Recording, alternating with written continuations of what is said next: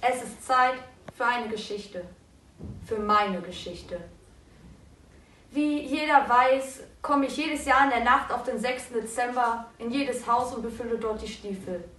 Was man jedoch nicht weiß, ist, dass ich am Tag danach hierher komme, an diese Schule, an das Homburgische Gymnasium Nürnberg.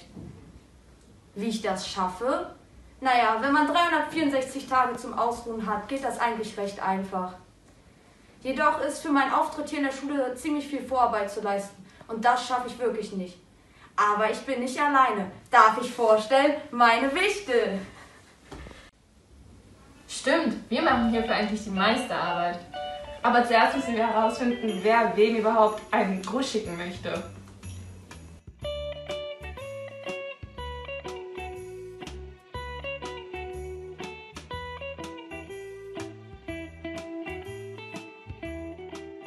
Dann muss der Gruß ausgefüllt werden, zum Beispiel so.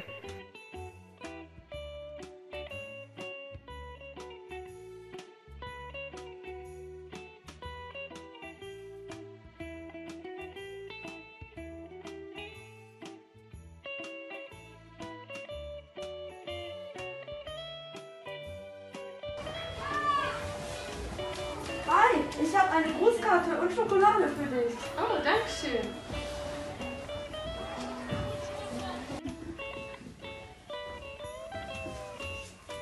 Wo sind denn die ganzen Nikoläuse hin? Alles weg. Nur leere Packung.